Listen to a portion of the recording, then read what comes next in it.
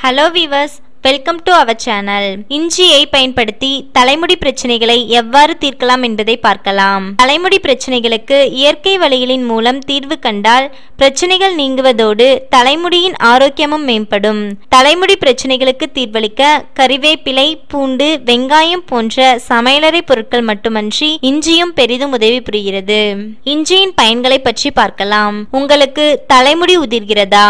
உங்கள் தலைமுடி அதிகம் உதிர்ந்தால் ஒரு இஞ்சி துண்டை நேரடியாக ஸ்கால்பில் சிறிது நேரம் தேய்க்க வேண்டும். பின் பத்து டு பதினைந்து நிமிடம் கழித்து தலைமுடியை அலச வேண்டும். இப்படி அடிக்கடி செய்தால் தலைமுடி உதிர்வது முற்றிலும் நின்றுவிடும். உங்களுக்கு பொடுகு தொல்லை இருக்கிறதா? இஞ்சி சாற்றில் உள்ள ஆன்டி பாக்டீரியல் தன்மை ஸ்கால்பில் சுரக்கும் எண்ணெயின் அளவை குறைக்கும் மற்றும் ஸ்கால்பில் தொற்றுகளால் பொடுகு வருவதை போக்கும். அதற்கு இஞ்சி சாற்றால் ஸ்கால்பை மசாஜ் செய்ய வேண்டும். பிறகு தண்ணீரால் அலச வேண்டும்.